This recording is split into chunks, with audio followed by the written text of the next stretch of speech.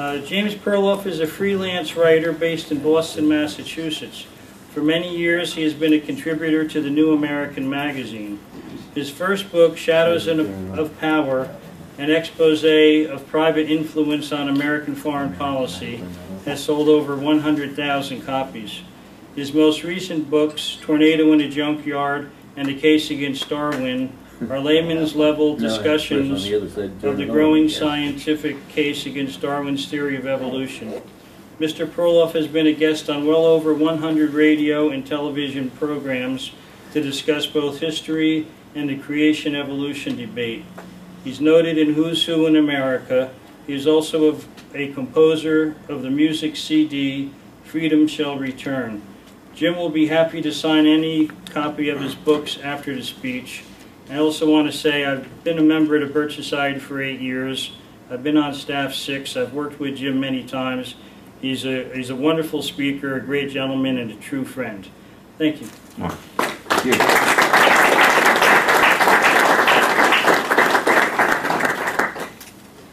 See, uh, I don't know if we want to experiment with turning off the front lights, Kip, on that.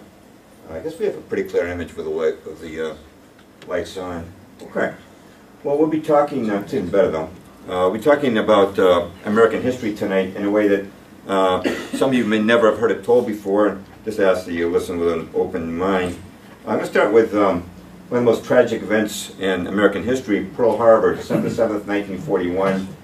Uh, 18 U.S. warships, including eight battleships, were sunk or heavily damaged. About 2,000 Americans were killed, many more wounded. About 200 planes destroyed on the ground. And uh, what question do you think Americans were asking the day after Pearl Harbor, besides what happens now? What do you think people were asking? Where is Pearl Harbor? well, now they're probably asking that in our school system. But um, uh, they were asking, you know, how did this happen? How come America got caught off guard like this? How could this disaster have taken place? Well, President Roosevelt, Franklin D. Roosevelt, appointed a commission to um, answer that question. It's called the Roberts Commission. And the Roberts Commission might be called a Washington-friendly group. Uh, the man who ran it, uh, Supreme Court Justice Owen Roberts, was quite friendly with the president. Retired Admiral Joseph Reeves had been given a job in Lend-Lease by the president. Uh, General McNarney was uh, on the staff of uh, Army Chief of Staff George Marshall and uh, selected on his recommendation. Um, General McCoy was a, a, personal friend of Army Chief of Staff Marshall. It was a very Washington-friendly group. Well, they held three weeks of hearings. They had uh, a couple days they spent in Washington, then 19 days in Hawaii. And at the end, they issued an official report, and they said that Washington had uh, done its job in an exemplary manner before Pearl Harbor. They said all the blame lay with our military commanders in Hawaii, namely Admiral Husband Kimmel, the Pacific Fleet commander, and General Walter C. Short, the Army commander. They said they uh, failed to take adequate surveillance of the waters surrounding the islands and they accused them of dereliction of duty. And the words dereliction of duty appeared on newspaper headlines across America. These two guys were crunched. I mean, they got inundated with hate mail and death threats. Even members of Congress stood up and said these two men should be shot because they were responsible for the deaths of thousands of young Americans. Now, and Short protested the findings of the Roberts Commission. They pointed out that Justice Roberts had taken unsworn testimony until they corrected that. Uh, they, he'd refused them the right to have uh, fellow officers serve as their attorneys. He said this is not a trial, so you don't have, have to have an attorney. And they found that significant testimony was left out of the report. So these two guys did something almost no military man ever asked they, to be done. They asked to be court-martialed because they wanted the issue of Pearl Harbor to be resolved in a real courtroom using standardized rules of evidence, not uh, Owen Roberts' personal rules. But President Roosevelt said no. He said, look, We've already relieved these men of their duties. We're at war now. There's more important things. No court, courts martial. Uh, no, no, that, that won't do any good. But Kimmel and Short kept pressing their case, and so did Congress. They wanted these trials too. Finally, in 1944, Congress mandated that the courts martials occur, and in that year, the Naval Court of Inquiry and the Army Pearl Harbor Board convened. Now, at these two trials, the attorneys for Kimmel and Short presented undeniable evidence that Washington had complete foreknowledge of the Pearl Harbor attack, but withheld it from our military commanders. Now, as the um, admirals on the Naval Court of Inquiry heard the evidence being read, they threw their pencils on the floor in disgust, and uh, Admiral Kimmel was completely exonerated. They laid all blame on Washington. They couldn't name Roosevelt because it was beyond their jurisdiction, but everyone knew who they were implicating. And the Army Pearl Harbor Board uh, reached the same conclusion. These are the closing words of their findings. Up to the morning of December the 7th, 1941, everything that the Japanese were planning to do was known to the United States. Now, the public reacted to the uh, accusation of dereliction of duty with hate mail and death threats. How do you think they reacted to the exoneration of Kimmel and Short? They didn't react because the President of the United States ordered that the results of the courts martials be held top secret in the interest of national security.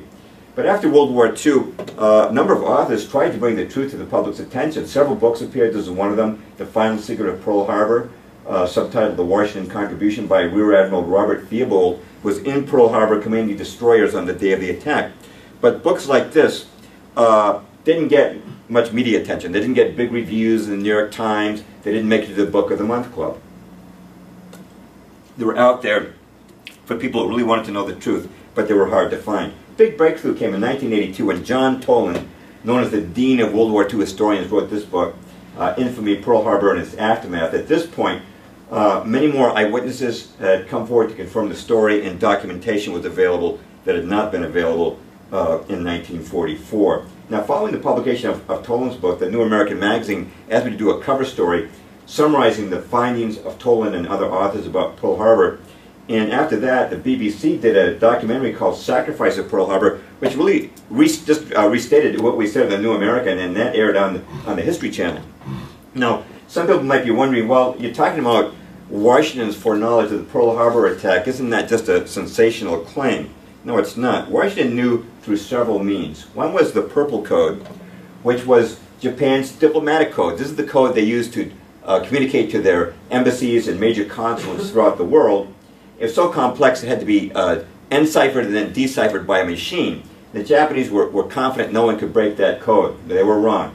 In 1940, some talented American uh, cryptoanalysts uh, broke that code and they devised their own machine. So in 1941, when our relations with Japan were, were quite tense, we're actually decoding their diplomatic messages usually within 24 hours of transmission. And every day, uh, those uh, uh, transcripts would be sent to the President of the United States, Franklin D. Roosevelt, Secretary of State, Army Chief of Staff George Marshall, and a couple of other high officials.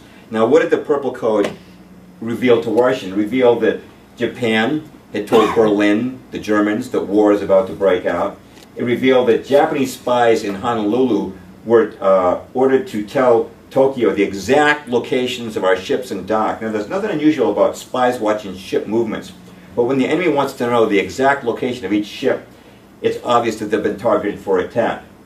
Um, the code also revealed that the Japanese told their embassy and consulates in the United States to start burning all of their, their code books and their secret documents because, of course, once war broke out, uh, they were going to lose their diplomatic immunity.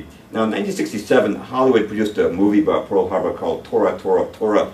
And uh, in that movie, they showed that Japanese ambassadors uh, presenting uh, the American Secretary of State, Cordell Hull, and that's the real Cordell Hull there. In the movie, they give him the declaration of war after the attack on Pearl Harbor, and he reacts with absolute surprise. He's absolutely shocked that war has begun. In real life, Cordell Hull was not surprised. He'd already read that declaration of war the day before that in his office, the transcript of it, uh, 13 parts of the 14-part message as had President Roosevelt. But Washington also knew through personal warnings that it received. Um, Joseph Grew was our ambassador to Japan. In 1941, he told the president that he had heard from the Peruvian consulate in Japan that if our relations were to worsen, Japan planned to attack Pearl Harbor with all its strength.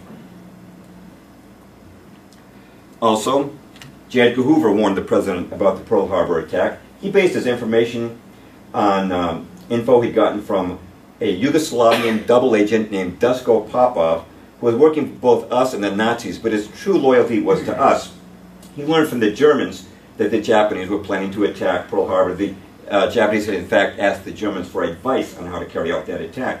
And you can see Dusko Popov interviewed in that BBC documentary, Sacrifice of Pearl Harbor. Another man you'll see uh, interviewed in that, uh, that documentary is Brigadier General Elliot Thorpe, who was the U.S. military observer in Java, the island of Java, which was then under the control of the Dutch in the Pacific. The Dutch had also learned of the Pearl Harbor attack, and they warned Thorpe, who was so alarmed, he sent a total of four warnings to Washington about the forthcoming Pearl Harbor attack until finally General Marshall's office replied, send us no more warnings concerning Pearl Harbor. Colonel F.G.L. Weideman was the Dutch military attaché in Washington. At that time, he testified that he personally warned Army Chief of Staff George Marshall about the attack, and Senator Guy Gillette and Congressman Martin Dies also received information concerning the attack. They had sat down with the president, and he told them not to tell anyone else, but just to leave it in his hands, the president's hands. Now, uh, 2001, uh, Disney made this movie, Pearl Harbor, starring Ben Affleck. Uh, it's a very standard rendering of the Pearl Harbor attack. Uh, they show President Roosevelt completely shocked and surprised by the attack. And the producer of that movie, uh, Jerry Bruckheimer, used four-letter words to describe anyone who would challenge that. Well, in response to that, the New American asked me to write another cover story on Pearl Harbor. And um, by now we had even more information, thanks uh, especially to Robert B. Stinnett um, in his book, Day of Deceit, The Truth About FDR and Pearl Harbor. He used the Freedom of Information Act to prove something we never knew before. We were not only decoding Japan's diplomatic messages, we were also decoding their naval messages as, as well. Now, it was commonly uh, misperceived that when the Japanese approached Pearl Harbor, that that task force maintained complete radio silence. Actually, they just observed discretion, but not complete silence. They were sending messages, and we were decoding those messages. And the most important was probably this. Admiral Yamamoto, the Japanese First Air Fleet, November the 26th, 1941. The task force, keeping its movement strictly secret and maintaining close guard against submarines and aircraft, shall advance into Hawaiian waters and upon the very opening of hostilities shall attack the main force of the United States fleet and deal it a mortal blow. The first air raid is planned for the dawn of X day, exact date to be given by later order. Now no one could read that message and not understand its meaning. I'd like to mention that following publication of our articles in the New American, uh, I was contacted by the attorney for the Kimmel family who uh, requested permission to use one of those articles. Uh, they've been uh, working for years to exonerate Admiral Kimmel's name, and I also was honored to receive a, a letter of thanks from Colonel Walter C. Short, U.S. Army retired, the son of the late Pearl Harbor commander. And I'd also like to mention that by resolution of the United States Congress, Kimmel and Short have been exonerated of any wrongdoing and any dereliction of duty. But in the meantime, how many people know this? You know, most people say, you know, I didn't know there was any controversy about Pearl Harbor. I thought we just got attacked and that was it. Well, we see today, there's a lot of things the media just doesn't discuss. Let's kick it back further to World War I. Now, uh, historians talk about a number of reasons why we got into World War I, but anybody know what the most inflammatory event was that Lusitania, yeah. The Lusitania was a British passenger ship on its way from New York to Britain. It had a couple hundred Americans on board. At that time, Germany was at war with England, but we were not yet involved with the war. And the, the Germans torpedoed it. And Americans were told, you know, the Germans sank this, this, this ship just to kill innocent women and children. That is not the reason they sank the Lusitania. They sank it because it was loaded to the gills from one end to the other in its hold with munitions, shrapnel shells, millions of uh, rifle cartridges, gun, gun cotton. Uh, they were trying to stop these war supplies from reaching Britain, just as the British were trying to do to Germany uh, with their own fleet. Now the ship went down in just 18 minutes after a single torpedo hit it, and every survivor said there were two explosions. There was a small one and a big one. The small one, of course, was a torpedo, and many think that the big explosion was the munitions detonating also very relevant was this. Winston Churchill was at that time the head of the British Admiralty, and prior to the sinking of Lusitania, he ordered a political study to be done to determine what the political impact would be if a British passenger ship was sunk by the Germans with Americans on board. And an exchange took place between the British Foreign Minister, uh, Lord Grey, and President Woodrow Wilson's top advisor, Edward Mandell House.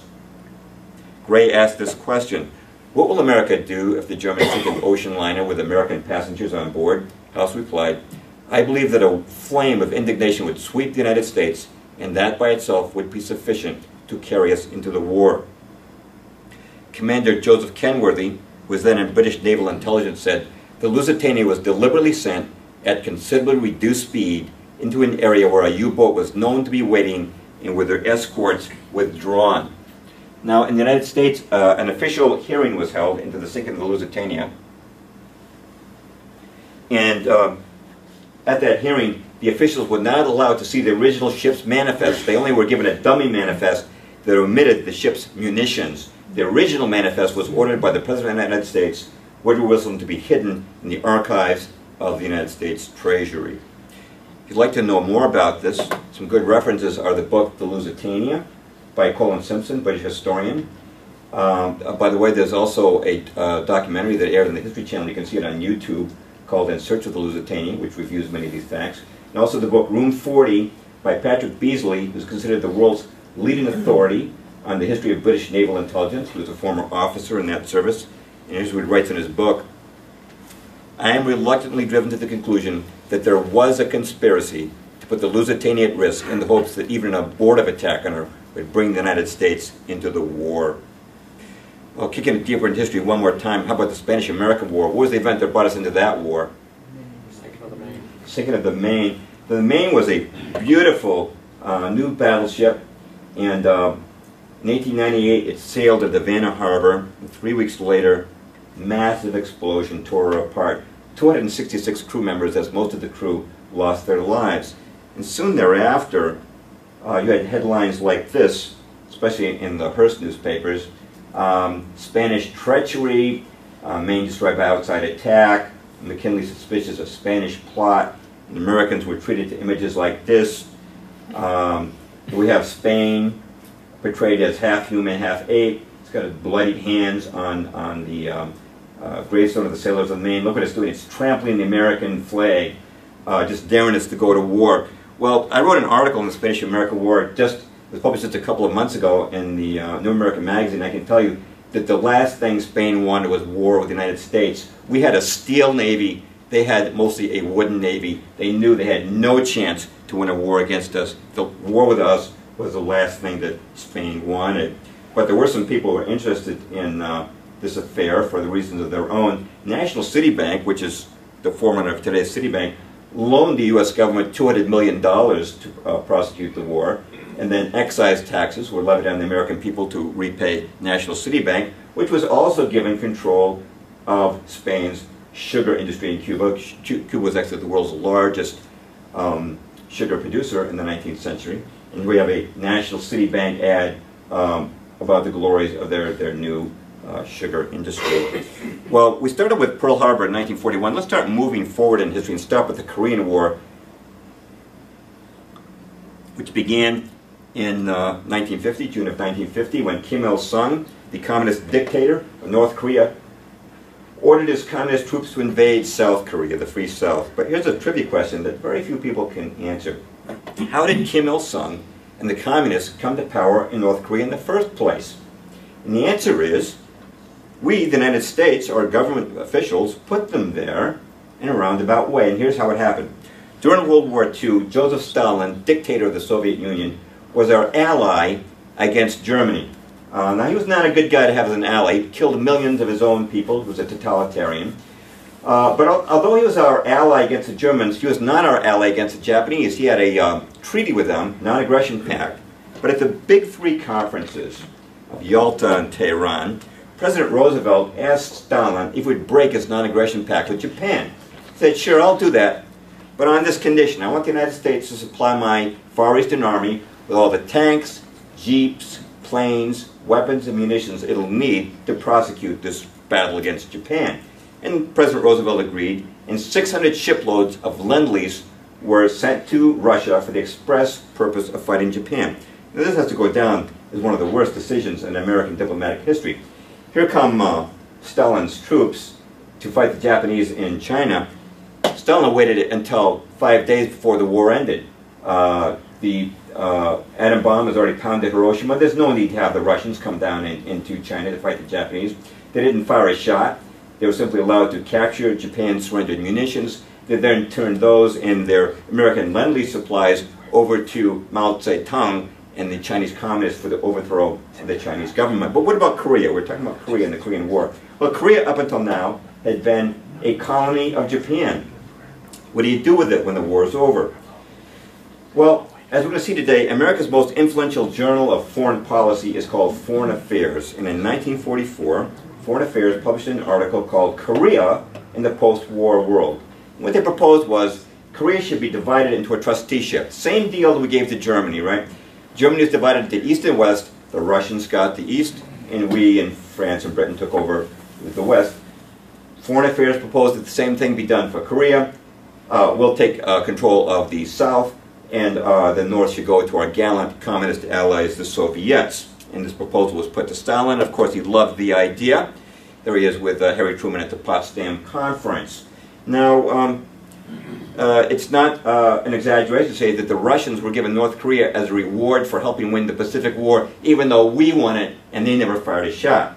Now, some people in response might say this, Mr. Perloff, don't get all paranoid here. Look, the guys who make our foreign policy are just good Joes like you and me. But you know, like all good Joes, sometimes they goof and make mistakes. Now, Mr. Perloff, do you make mistakes? You do? Oh, what a surprise. Well, so do the guys who make our foreign policy. Hey, look, they blundered, that's all. There's a very simple explanation of what happened in Korea, which is that accidents do happen. Well, you know, uh, yeah, accidents do happen, not very often in politics, though. Um, before we uh, write this off as an accident, I want to point out that this little blunder cost over 50,000 GIs their lives in the Korean War, and over 1 million Koreans who lost their lives in that war, and created one of the worst dictatorships in world history. So before we dismiss it as a blunder, let's quote someone who didn't think it was a mistake. James Forrestal, who was Secretary of Defense under Truman, he saw that there was a clique in the State Department, you could call it the Dean Acheson clique, that was continually uh, making concessions to the Soviet Union and doing things that harmed USA and benefited Russia. And he said it can't be a chance that this is happening. Here's what he said. Consistency has never been a mark of stupidity. If the diplomats who have mishandled our relations with Russia were merely stupid, they would occasionally make a mistake in our favor. And anybody know how Mr. Forrestal died?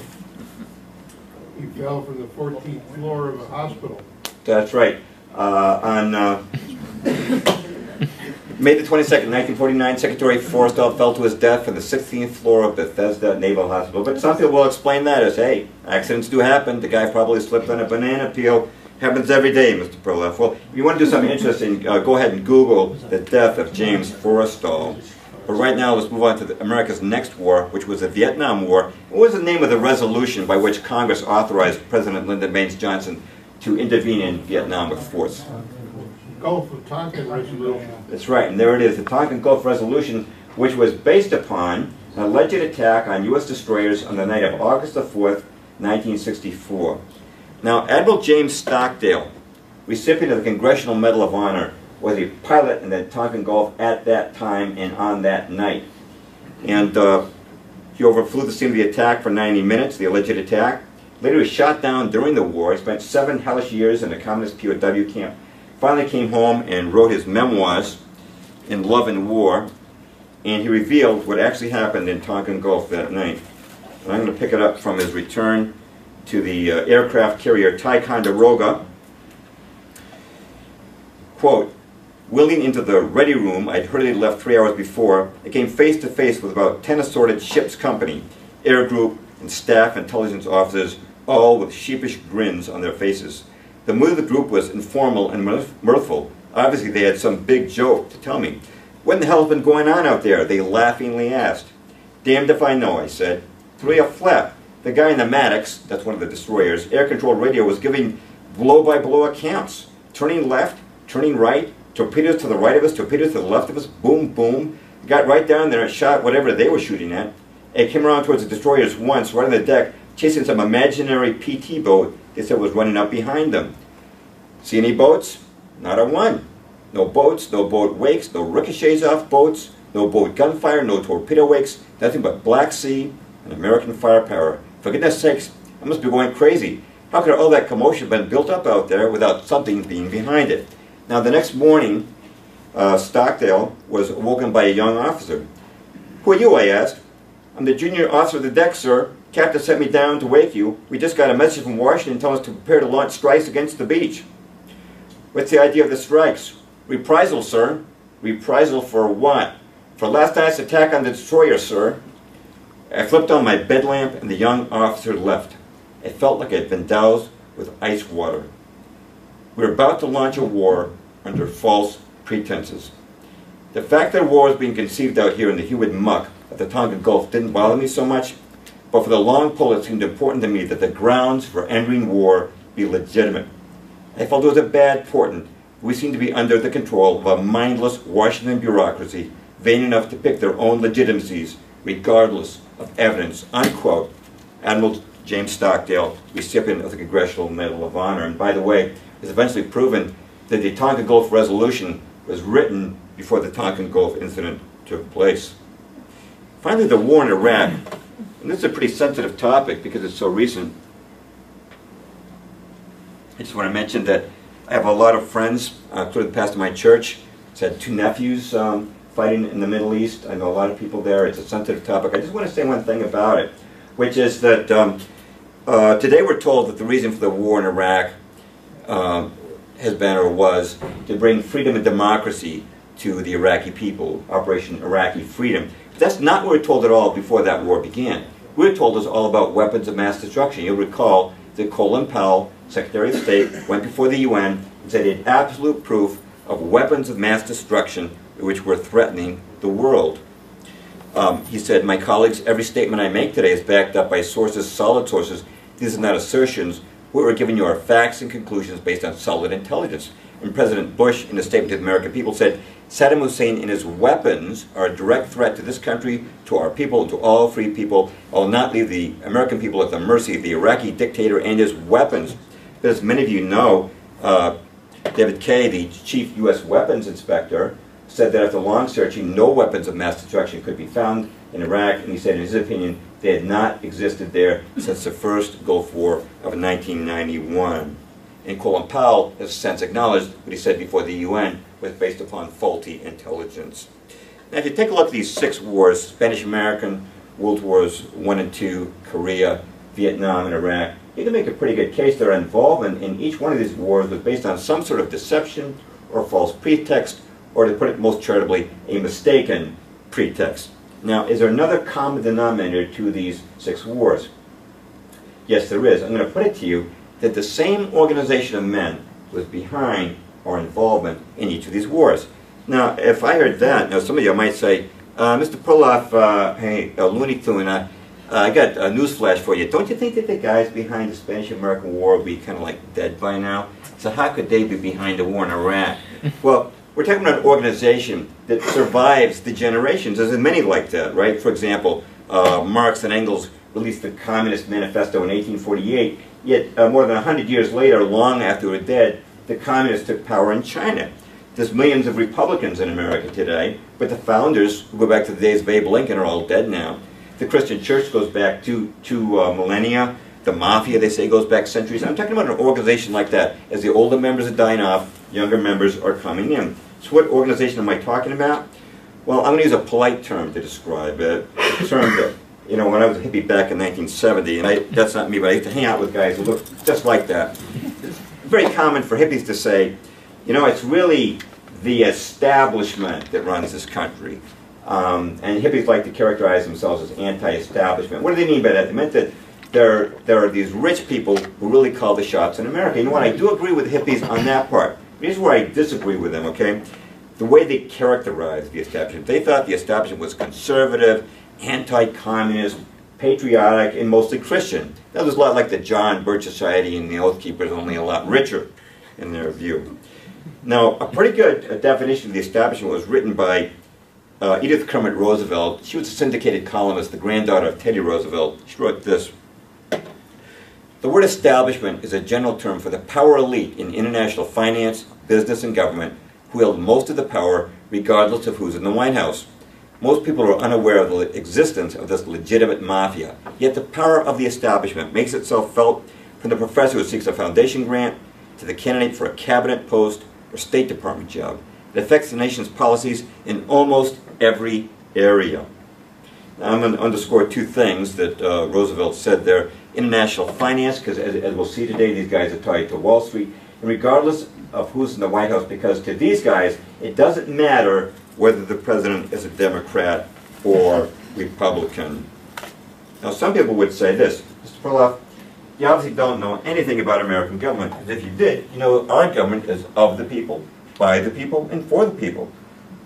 uh, let's face it, Mr. Perloff, we the people hold the power. I mean, uh, the president uh, has to be elected by us. Same with the congressmen and, and, and senators. So obviously we're holding the power. I mean, uh, this is just uh, paranoid lunacy, the idea there's some sinister power behind the throne. We the people, we're the power behind the throne. And obviously, uh, you know, anything our government does, since we elect these guys, anything they do in foreign policy must be a reflection and extension of our own will. If we don't like the job they're doing, Mr. Perloff, there's a simple solution. We just vote the rascals out come the next election. Well, you know, um, I certainly agree that in principle, power is supposed to belong to the people, but I don't think that people are holding that much power today. Now, the establishment knows we have elections in this country, and uh, they've figured out ways to beat that. For one thing, they've figured out they can pretty much control who the two major party candidates will be in any presidential race. Uh, now, my focus is not elections tonight, but I don't want to leave that unsupported, so I'm going to take an example. Jimmy Carter was elected president in 1976. Trivia question. Seven months before the Democratic National Convention, what percentage of registered Democrats favored Jimmy Carter for president? Nine. It was actually less than 4%. Nobody even heard of this guy.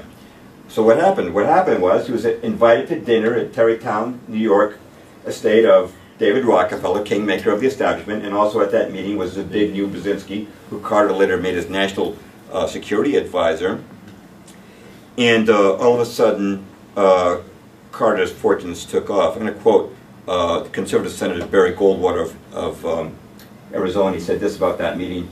David Rockefeller and Zbigniew Brzezinski found Jimmy Carter to be their ideal candidate. They helped to win the nomination, the presidency. To accomplish this purpose, they mobilized the power of the Wall Street bankers and the media controllers. Now, let me flesh that in. By the time the nominating convention rolled around, Time magazine had put Jimmy Carter on its cover three times and their cover artists were told to make him look as much like John F. Kennedy as possible. Newsweek put him on their cover twice. The New York Times ran a series of uh, promotional articles puffing Jimmy Carter. The Wall Street Journal had an editorial saying that the best president for America among all the Democratic candidates would be Jimmy Carter. And the three networks back then, ABC, CBS, NBC, inundated the public with images of Jimmy Carter. So guess what? When the nominating convention rolled around, he got the nomination. But the question is, did he get it because independently Democrats each decided that Jimmy Carter was their man, or was it because he was picked in a high place and then packaged and sold to the public? With respect, I suggest it was the latter, and with respect, I suggest it has been done many, many times in the last century. But the establishment has another way of influencing the sitting president. One of them is the Council on Foreign Relations. CFR for short. It's the subject of my book, The Shadows of Power. Now, uh, we'll be talking about how the council influences the president, but first, um, let's answer this question. What is the actual goal of the Council on Foreign Relations? And to answer that, I'm going to quote a former member, Admiral Chester Ward. He was a member for 16 years before he resigned to discuss. Said, the main purpose of the Council on Foreign Relations is promoting the disarmament of U.S. sovereignty and national independence and submergence into an all-powerful one world government. These guys are into world government. live up in Boston, and even the Boston Herald once had an editorial on these guys. And they said the Council on Foreign Relations, those guys are foreign policy fuzzy thinkers who worship world government. Now in my, my book, I have uh, many quotes from the council itself as well as its critics validating that what they're after, what their game is as world government. But we better define our terms. What, what, would a world government be? It'd be a single government ruling the entire globe. Now, we obviously don't have that today. I mean, Japan's government rules Japan, and Brazil's government rules uh, Brazil. So some people might think, well, Mr. Perloff, that would never happen in a million years. Well, actually, it's happening right now in Europe on a regional level with the European Union. You know, countries like England and Spain were once mighty empires, now they're becoming reduced to province status uh, progressively within the European Union. Each year, the national parliaments become more and more subservient to the European Parliament and the European uh, Commission in Brussels. As you know, they're consolidating their currencies into the euro. Uh, they're going to have a, uh, a uh, uh, European Pentagon over a European army. They're writing a European constitution. The EU has its own ambassadors. This is world government on a regional scale and it's a work in progress. And we'll see tonight, they envision the same thing for North America. Now, Foreign Affairs is the journal of the Council on Foreign Relations, and um, I went through every issue before I wrote my book, and I found countless statements uh, promoting world government. You go back to the first year of publication, 1922, we read this. Obviously, there's going to be no peace or prosperity for mankind so long as it remains divided into 50 or 60 independent states. The real problem today is that of world government. Now, let me underscore something this writer said. I found that um, they love to use the phrase peace and prosperity to describe what world government would bring us. The argument goes something like this.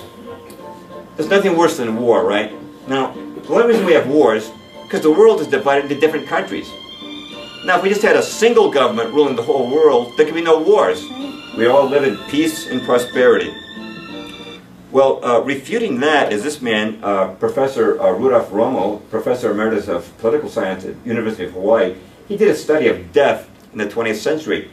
And he found, he found that in the 20th century, six times more people were killed by their own governments than were killed in wars.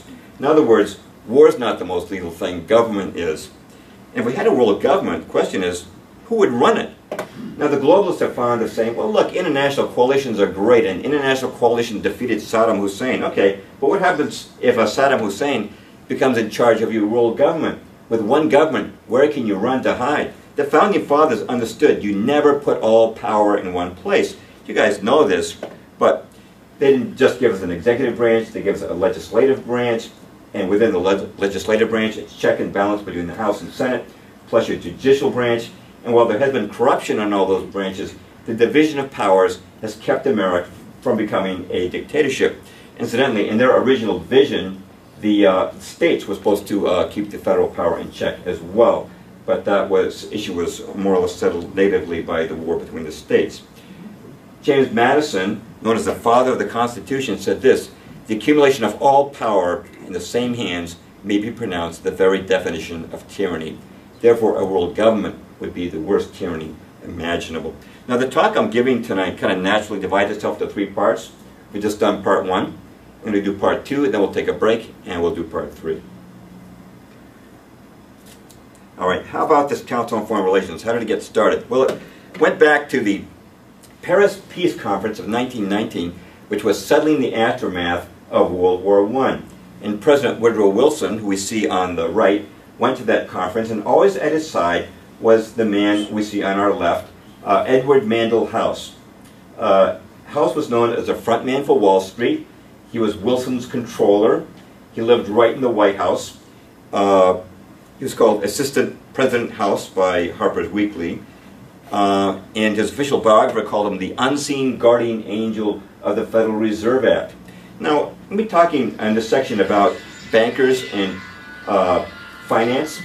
And it might seem like I pulled a switch on you because you might think, well, Mr. Burley, you're talking about foreign policy and wars, and now you're talking about bankers. Uh, well, the fact of the matter is that the foreign policy establishment of the United States is inextricably linked to the banking establishment, and that shouldn't really surprise us that a plan for control and power would be linked to financial centers, right? Because what do we say? Uh, don't we typically say, humanly speaking, that money makes the world go round? And we want to know who's behind someone, we say follow the money, right? So let's follow the money, see who's behind the Council on Foreign Relations. Speaking of money, should notice we have inflation in this country. We have rising prices, right? Let's take a trip down uh, memory lane. Uh, 1962, when I was a little boy, candy bar cost a nickel. A postage stamp was four cents. New pair of sneakers was five bucks. Movie ticket was 50 cents. Tuition at Harvard that year was $1,520. You could buy a new imported Renault automobile for $1,395. And the average cost of a new house in America was $12,500. We've got uh, radically rising prices, and why is that? Well, if you consult the establishment media, they spin a number of yarns. They like to say things like, oh, it's all the American workers' fault. You know, some guy named Joe goes to his boss. He says, boss, my wife just had a baby. Uh, could I get a $50 a week raise? And the boss says, well, Joe, I'd like to give you a raise. The only way I can afford to do that is by passing on the cost to the people we do business with. I'll have to raise their prices by $50 a week. Some of the people doing uh, business with Joe's company say, well, if you guys are raising your price to $50 a week, we'll have to raise our price to $50 a week, and all across America, prices go up because Greedy Joe and other workers like him ask for a raise. Um, and we're, we're told that inflation's inevitable. It's like death and taxes. You'll always have it. And it does look that way. If you look at the con- Consumer Price Index, they were responsible for the deaths of thousands of young Americans. Now, Kevlin Short protested the findings of the Roberts Commission. They pointed out that Justice Roberts had taken unsworn testimony until they corrected that. Uh, they, he'd refused them the right to have uh, fellow officers serve as their attorneys. He said this is not a trial, so you don't have, have to have an attorney.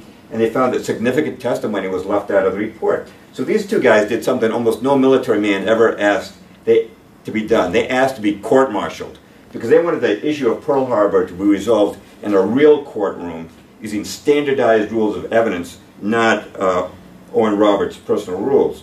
But President Roosevelt said no. He said, look, I've already relieved these men of their duties. We're at war now. There's more important things. No court, courts martial. Uh, no, no, that, that won't do any good. But Kimmel and Short kept pressing their case, and so did Congress. They wanted these trials too. Finally, in 1944, Congress mandated that the courts martials occur, and in that year, the Naval Court of Inquiry and the Army Pearl Harbor Board convened. Now, at these two trials, the attorneys for Kimmel and Short presented undeniable evidence that Washington had complete foreknowledge of the Pearl Harbor attack, but withheld it from our. Let's see, uh, know if we want to experiment with turning off the front lights, Kip, on that. Uh, I guess we have a pretty clear image with the light, with the uh, lights on. Okay. Well, we'll be talking, uh, it's even better though. Uh, we're talking about uh, American history tonight in a way that uh, some of you may never have heard it told before. Just ask that you listen with an open mind. I'm going to start with um, one of the most tragic events in American history, Pearl Harbor, December 7th, 1941. Uh, 18 U.S. warships, including eight battleships, were sunk or heavily damaged. About 2,000 Americans were killed, many more wounded. About 200 planes destroyed on the ground. And uh, what question do you think Americans were asking the day after Pearl Harbor, besides what happens now? What do you think people were asking? Where is Pearl Harbor? Well, now they're probably asking that in our school system. But um, uh, they were asking, you know, how did this happen? How come America got caught off guard like this? How could this disaster have taken place? Well, President Roosevelt, Franklin D. Roosevelt, appointed a commission to um, answer that question. It's called the Roberts Commission. And the Roberts Commission might be called a Washington-friendly group. Uh, the man who ran it, uh, Supreme Court Justice Owen Roberts, was quite friendly with the president. Retired Admiral Joseph Reeves had been given a job in Lend-Lease by the president. Uh, General McNarney was uh, on the staff of uh, Army Chief of Staff George Marshall and uh, selected on his recommendation. Um, General McCoy was uh, a a personal friend of Army Chief of Staff Marshall. It was a very uh, Washington-friendly group. Well, they held three weeks of hearings. They had uh, a couple days they spent in Washington, then 19 days in Hawaii. And at the end, they issued an official report, and they said that Washington had uh, done its job in an exemplary manner before Pearl Harbor. They said all the blame lay with our military commanders in Hawaii, namely Admiral Husband Kimmel, the Pacific Fleet commander, and General Walter C. Short, the Army commander. They said they uh, failed to take adequate surveillance of the waters surrounding the islands, and they accused them of dereliction of duty. And the words dereliction of duty appeared on newspaper headlines across America. These two guys were crunched. I mean, they got inundated with hate mail and death threats. Even members of Congress stood up and said these two men should be shot because Uh, James Perloff is a freelance writer based in Boston, Massachusetts. For many years, he has been a contributor to the New American Magazine. His first book, Shadows of of Power, an expose of private influence on American foreign policy, has sold over 100,000 copies. His most recent books, Tornado in a Junkyard and The Case Against Darwin, are layman's level discussions of the growing scientific case against Darwin's theory of evolution. Mr. Perloff has been a guest on well over 100 radio and television programs to discuss both history and the creation-evolution debate. He's noted in Who's Who in America. He is also of- a composer of the music CD Freedom Shall Return.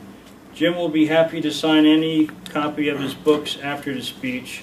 I also want to say I've been a member of the Birch Society for eight years.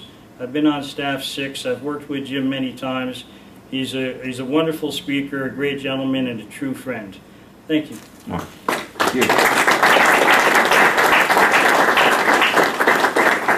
our military commanders. Now, as the um, admirals on the Naval Court of Inquiry heard the evidence being read, they threw their pencils on the floor in disgust, and uh, Admiral Kimmel was completely exonerated. They laid all blame on Washington. They couldn't name Roosevelt because it was beyond their jurisdiction, but everyone knew who they were implicating. And the Army Pearl Harbor Board uh, reached the same conclusion. These are the closing words of their findings. Up to the morning of December the 7th, 1941, everything that the Japanese were planning to do was known to the United States. Now, the public reacted to the uh, accusation of dereliction of duty with hate mail and death threats. How do you think they reacted to the exoneration of Kimmel and Short? They didn't react because the President of the United States ordered that the results of the courts martials be held top secret in the interest of national security. But after World War II, uh, a number of authors tried to bring the truth to the public's attention. Several books appeared. This is one of them, The Final Secret of Pearl Harbor, uh, subtitled The Washington Contribution by Rear Admiral Robert Theobald, was in Pearl Harbor commanding destroyers on the day of the attack. But books like this uh, didn't get much media attention. They didn't get big reviews.